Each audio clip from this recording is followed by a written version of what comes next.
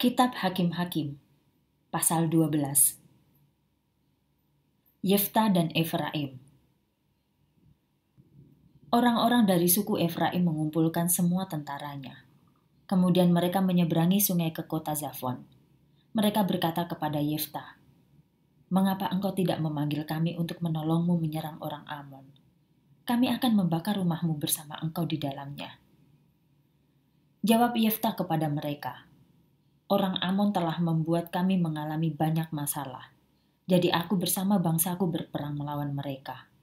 Aku telah memanggil kamu, dan kamu tidak datang menolongku. Aku melihat bahwa kamu tidak mau menolong kami. Aku mempertaruhkan nyawaku sendiri dan pergi melawan orang Amon. Dan Tuhan membiarkan aku mengalahkan mereka. Sekarang, mengapa kamu datang melawan aku hari ini?' Kemudian Yefta mengumpulkan semua orang Gilead. Mereka berperang melawan orang-orang dari suku Efraim karena mereka menghina orang Gilead. Mereka berkata, "Kamu orang Gilead hanyalah sisa-sisa yang selamat dari Efraim. Sebagian dari kamu termasuk orang Efraim dan sebagian orang Manasye." Orang Gilead mengalahkan orang Efraim. Orang Gilead merebut tempat-tempat penyeberangan sungai Yordan untuk mencegah orang Efraim menyeberang. Setiap waktu, orang pelarian dari Efraim datang ke sungai itu dan berkata, Biarkanlah aku menyeberang. Orang Gilead akan bertanya, Apakah engkau orang Efraim? Jika dia berkata tidak, mereka mengatakan, Ucapkanlah Shibolet. Orang Efraim tidak dapat mengucapkan kata itu dengan tepat mereka mengucapkannya Sibolet. Jadi, jika seseorang mengucapkan Sibolet, orang Gilead tahu bahwa orang itu dari Efraim. Jadi mereka membunuhnya di tempat penyeberangan itu. Mereka membunuh 42 ribu orang Efraim.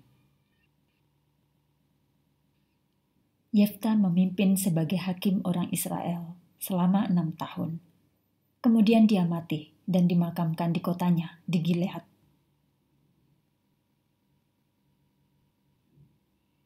Hakim Ebzan.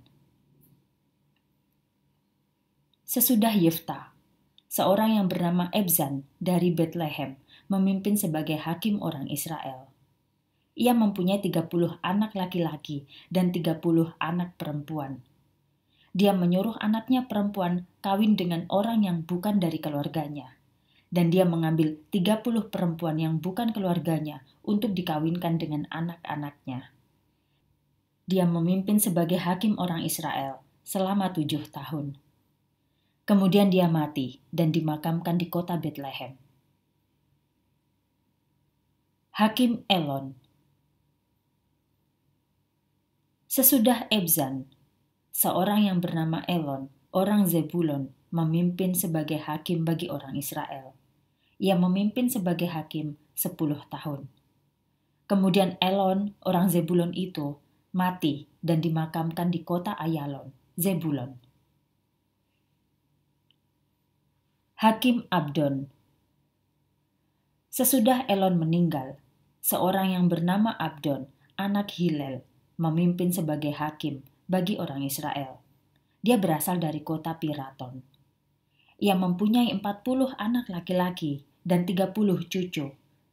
Mereka mengendarai 70 keledai ia memimpin sebagai hakim bagi orang Israel selama delapan tahun.